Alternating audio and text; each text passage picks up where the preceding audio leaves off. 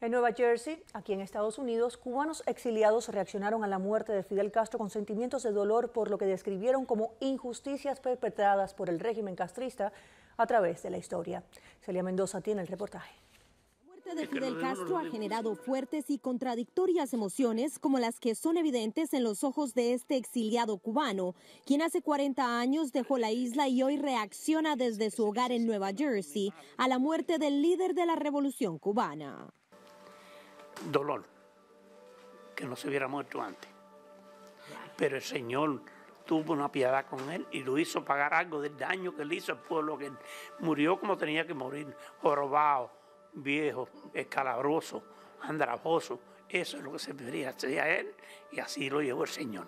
Mientras en el sur de la Florida se registraron celebraciones espontáneas, en Union City, en Nueva Jersey, los cubanos exiliados reaccionaron a su manera. Y lo más malo para mí es ver a mis padres que no pudieron eh, estar este día tan bonito que ya se murió Fidel Castro, porque para ellos volver a su patria era todo. Sentimiento capturado en estas fotografías tomadas en Cuba, de donde se vio forzado a salir el doctor Félix Roque, alcalde de West New York, y quien no descarta volver a Cuba.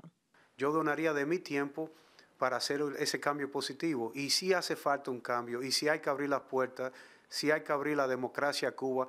Olga Sobeira dejó Cuba hace 56 años y aunque asegura que no le alegra la muerte de nadie, no comparte los nueve días de luto establecidos. A él no lo debían haber hecho ni velorio.